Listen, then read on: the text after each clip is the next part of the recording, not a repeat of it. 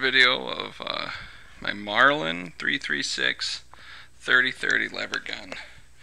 Um, I haven't done a video on this yet because I got it, shot it, made sure it worked, and uh, sent it off to the gunsmith and uh, got a completely new finish on it.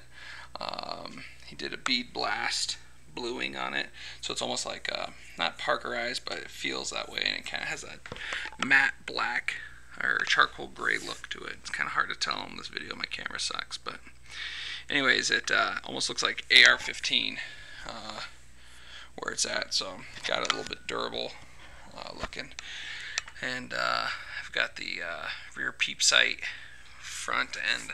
I have a uh, green fiber optic, which is handy for quick acquisition. And down here we got a leather extra six shot shell holder. Got that off of eBay. I forgot the guy's company name. Um, I'll, I'll put it in my notes. He uh, It's good quality. You can get it for multiple different guns, but it just mounts right there. And the hardest part is cinching the straps down and all that. So, but uh, there you go. Marlin 336 3030 American Classic. Anyways, thanks for watching.